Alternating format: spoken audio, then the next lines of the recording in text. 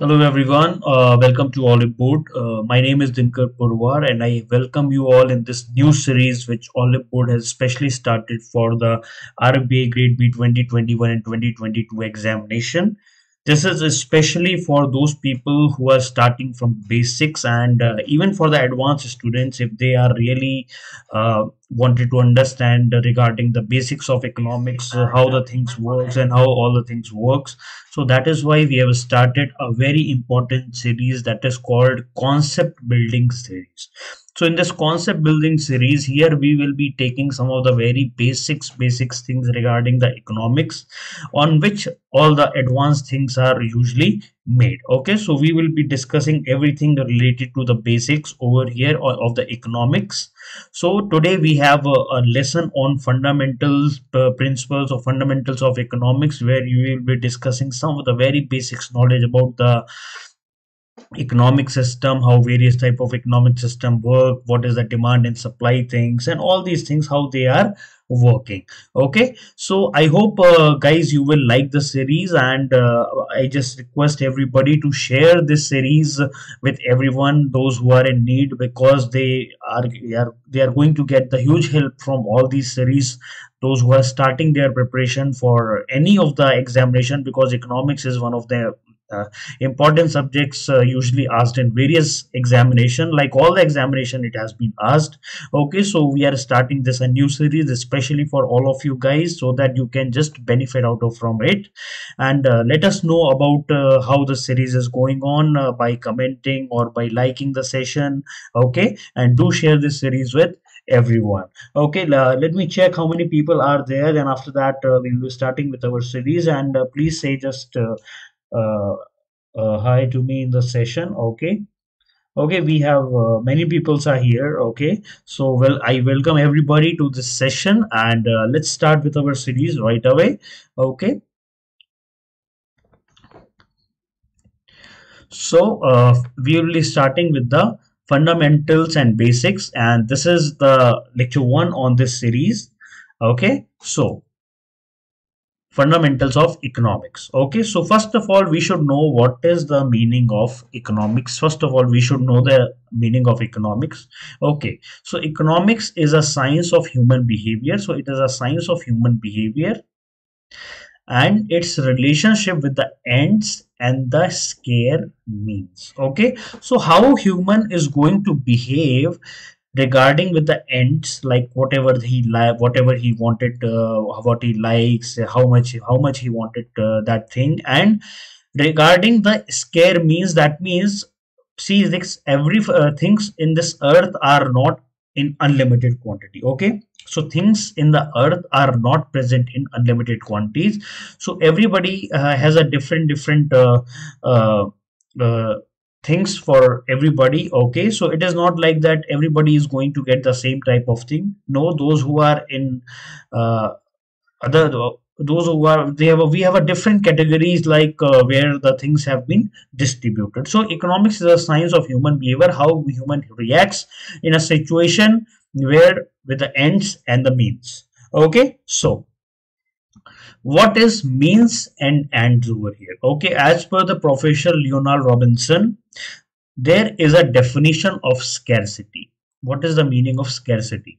So he also has provided the meaning of means and ends. So according to him he has given some of the four important principles like man has unlimited wants. That means if somebody wanted something he wanted in unlimited wants. That means his uh, dire for things is never fulfilled. That means if we provide him something he he wanted again and again again and again again and again and he wanted that the the share the thing should increase in a unlimited uh, way. Okay? So man has a unlimited wants. Man wants each and everything the the things he see the things he wanted he wants in unlimited he or she wanted in unlimited things. The means to satisfy so the means the things to satisfy this unlimited means are very limited. Okay? Means. Means are very limited. That means they have unlimited wants but means are limited. Okay? That means everybody cannot get everything. Okay? So resources are limited and they have some alternative uses also. Okay? So here the here there comes a concept of making the choices. So man has to make a choices between one or the other things. Okay? So this is uh, also a concept of scarcity okay? Uh, you can say scarcity as uh, as very limited uh, means of resources okay? And here then men's have to make the choices choices okay? So here this is the concept of means and ends. So that is why this the the the whole concept of economics comes okay? So here we have to make sure that everything works in a balanced way okay? So otherwise if everything is unlimited and everything uh, people are getting each and everything then there is no concept of economics at all. Okay. That is why this whole uh, uh, concept has of economics has developed from the concept of means and the ends. Okay. So that is why. So here that is why we are studying this economics as a subject right? Now categories of economy. So how we are categorizing this economics so we have two categories in this economics First of all, there is a macroeconomics and there are two third second category that is microeconomics. Okay, first is the microeconomics and second is the microeconomics. Okay, so we will be studying what is the meaning of macroeconomics first. So in the macroeconomics, so it is also called as the branch of economics which normally talks about the behavior, performance, national and regional economy as a whole. And also discuss about the overall performance of the economy. So overall performance of the economy based on some indicators. Okay so here macro in the macroeconomics we are talking in the larger terms we are talking in the economic way like how this country is growing how is the employment ratio over there why this place is not getting proper uh, things. Okay so uh, macroeconomics is related to how the how what is the meaning of poverty why people are poor why uh, people are poor here and why the people are rich over here. Okay so it is a branch of macroeconomics which are discussing everything in a larger way by taking the things as a whole quantity. Okay okay? So so there are uh, various indicators. Indicators are like uh, we can find it out like uh, from the poverty lines okay and all those why were there like uh, world bank has created a poverty line. Okay so these are some of the indicators which shows that there are reports which come based on these indicators like indicators uh, that relate to poverty. Performances are based on various like uh, how the companies uh, companies are growing in this country how all this national and regional economy based on gdp this gdp okay gnp okay all these things nnp okay so these are some of the indicators. Okay these are so these are called the big indicators. How how productivity so you can talk about the productivity. Okay you can talk about the productivity and all these things. These are very large large scales. Okay like gdp and everything. Okay yeah yeah suraj yeah like that only. Okay so these are the big indicators so whenever you are comparing various countries, you compare based on the GDP. Okay, this this country has a high high uh, GDP. This country's productivity in this sector is large. Okay, all these things under comes under the macroeconomics. Okay, then we have a second branch which is called microeconomics. Okay, Microeconomics is a branch of economics which mainly deals with the behavior of individual entities. Here we are looking for individual entities like household firms market and other things. Like here here we are going more inside this macroeconomics. That means macroeconomics is showing a larger world okay? And here we are moving from that larger into a smaller smaller things. Like if gdp is getting down so here we have to find it out why the gdp is going down okay? We have to find out how the single single things are working.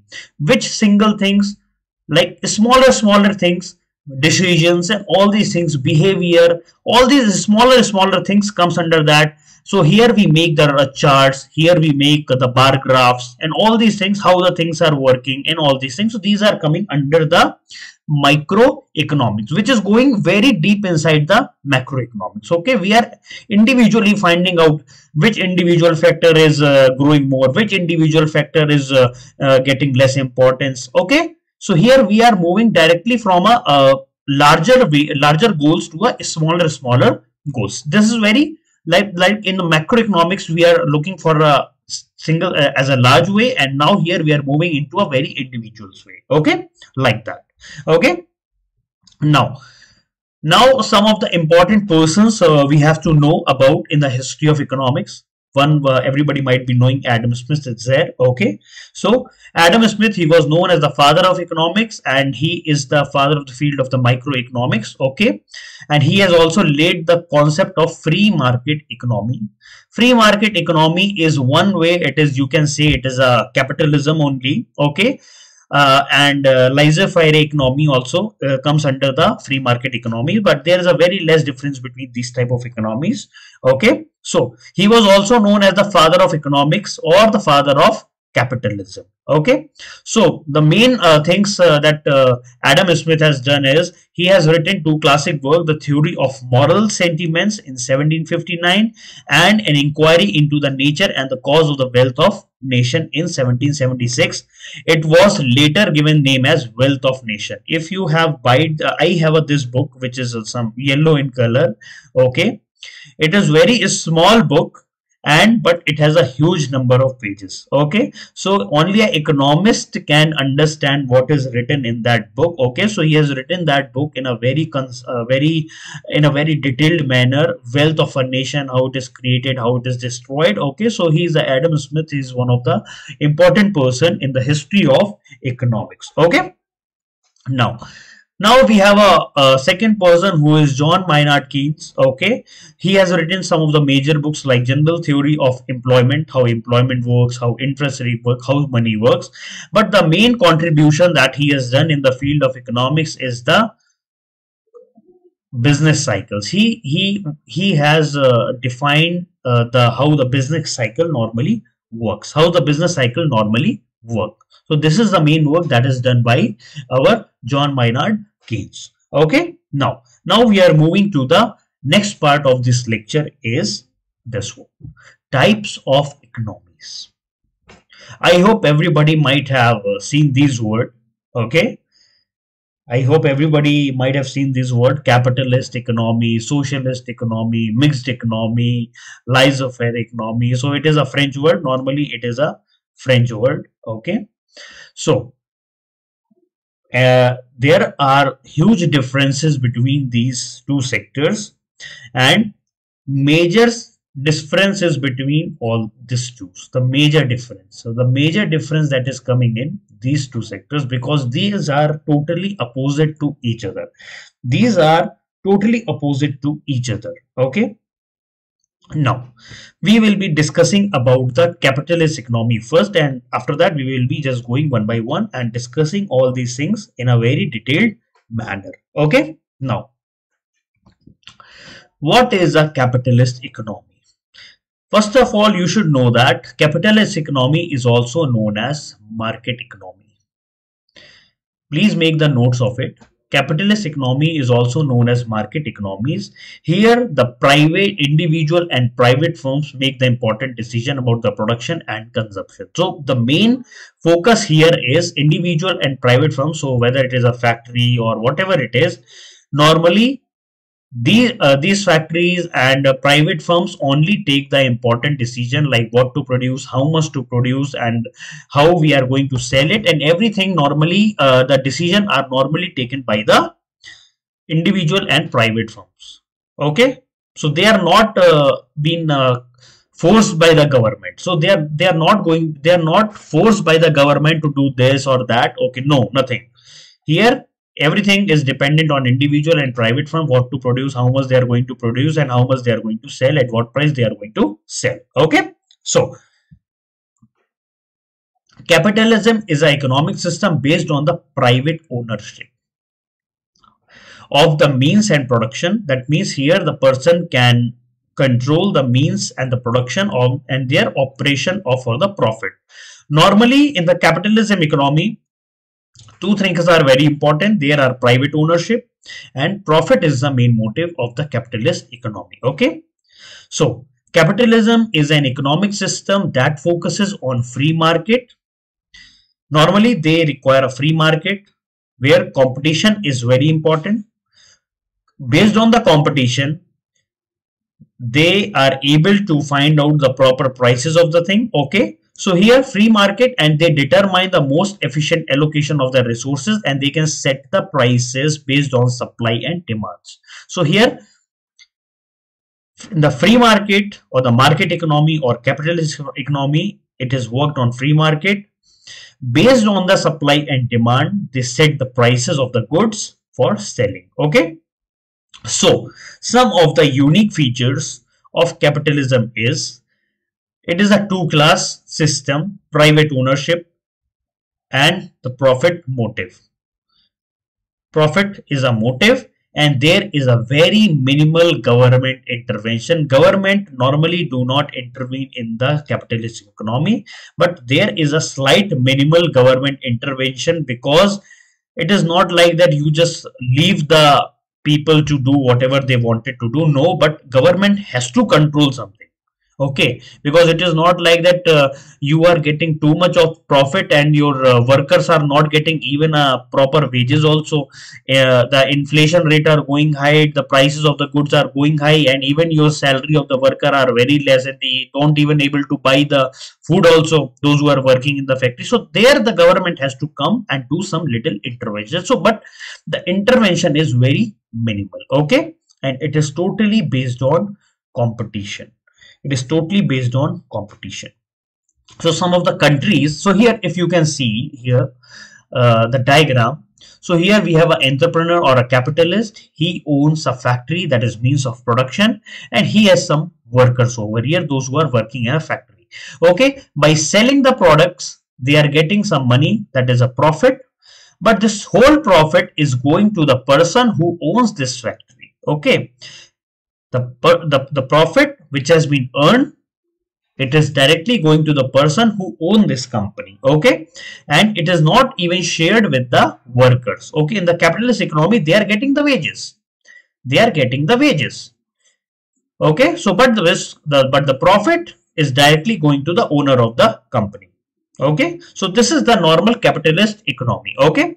Some of the countries which are working on capitalist economy like united states uk germany these are some of the example of modern capitalist countries. Okay? I hope you understand the capitalist economy till now. Okay? I hope uh, uh, please let me know in the chat box. Uh, i hope everybody has understood the capitalist economy properly. Right? Now i can see many people are there uh, in the chat in this session okay? Uh, good to see you everybody and uh, fine great okay? Now now we are moving to the totally opposite. Now we are moving to the totally opposite section of this capitalist economy that is socialist economy. Socialist economy. Here idea of socialism was given by Karl Marx. Normally socialist economy is deriving from the word of socialism. Socialism means working on based on cooperative. Based on cooperative. Here there is no concept of private ownership or, or like that. There is no concept of private ownership. Okay. This is also known as command economy. We can call this as command economy okay? Here normally the government makes all the decision. Here the government makes all the decision what to produce how much to produce at what price you have to sell. So there is no private ownership. Here no private ownership okay? So here government makes all important decision related to production and distribution. Socialism is an economic and political system based on public ownership of the means of production. Public ownership means in the form of cooperatives. If anybody can provide me with the example of the cooperative which is very successful in India, they can just write it on the chat box if anybody knows. If anybody knows the successful model which is working in India as a cooperative, they can write it on the chat box. Anybody who knows this? Anybody? They can just write away on the chat box if anybody knows there is one of the successful model which is working as a cooperative in our India. Anybody's I'm just waiting for the answer for from the guys who can just let me know. Okay, uh, whenever you come to know, just let me know. Okay, so here the means of productions are owned by the public and the profit is shared between all the peoples based on the uh, ownership. Okay, so the government here determines output and pricing here the government decide what to what should be the output, how much you have to produce and what price you have to sell. Okay, so it is like a command economy. Okay, you cannot go beyond this output. You cannot sell beyond this price. Okay, so everything is controlled okay it is not like private uh, where you can how how much you can wanted to produce how much you keep the prices whatever you wanted to keep no here government is controlling everything uh, now there is one example I must tell you. It is, see I am writing. Please fill here. Two parts I have left for all of you. Please fill these dashes. If anybody knows, please fill the dashes. M and U coming in between.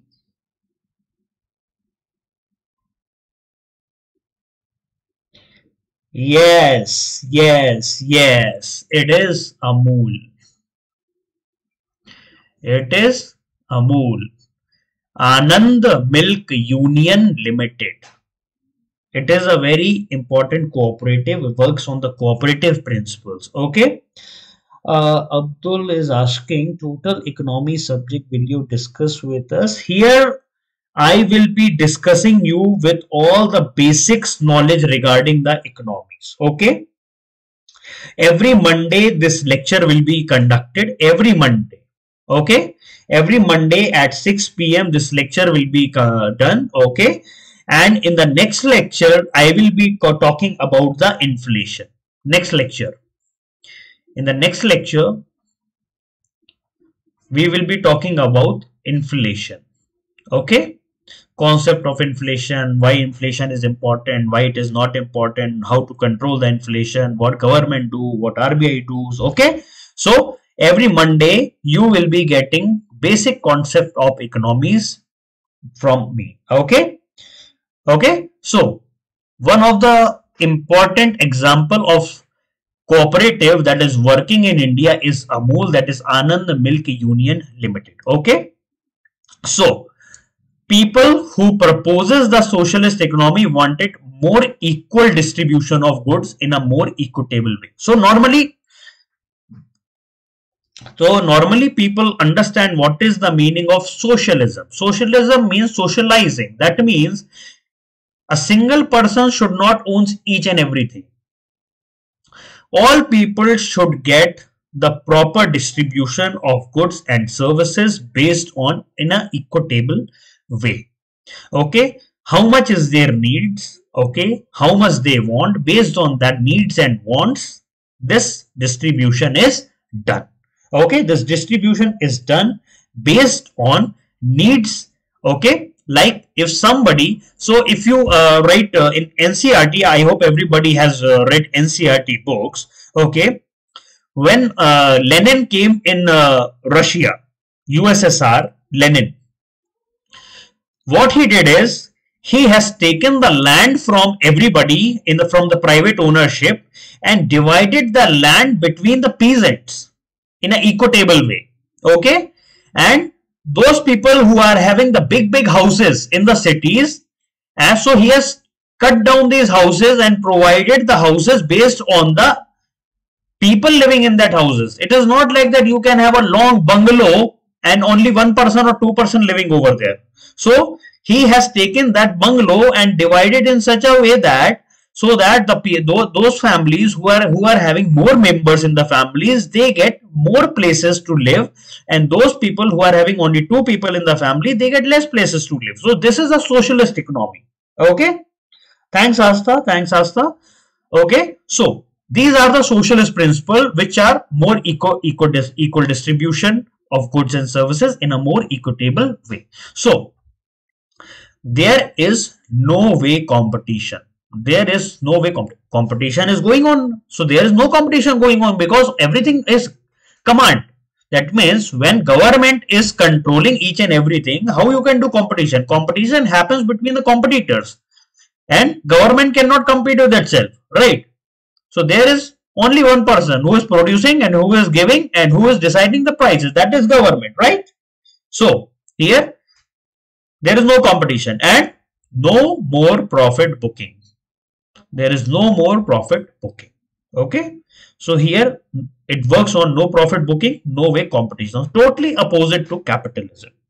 Totally opposite to capitalism. Okay. So some of the examples are those countries who are following is Soviet Union, Cuba, China, Venezuela. Okay, so these are some of the basic principle of socialist economy. I hope everybody has understood what is the meaning of socialist economy and capitalist economy. Okay, basic understanding I hope everybody might have got till now, right? because these type of things uh, never uh, been provided in uh, various places so that is why we have started this series so that everybody can understand and if there is any kind of discussion going on anywhere so you can able to uh, make sure that you are able to explain them properly. And even in the examination you should be able to uh, justify your answers properly. Right? Okay. Now what is the third category of economy? So these are the totally opposite economy. Capitalist economies in on one side and socialist economy on the other side. So sometimes comes something comes in the middle also. Okay. That middle thing is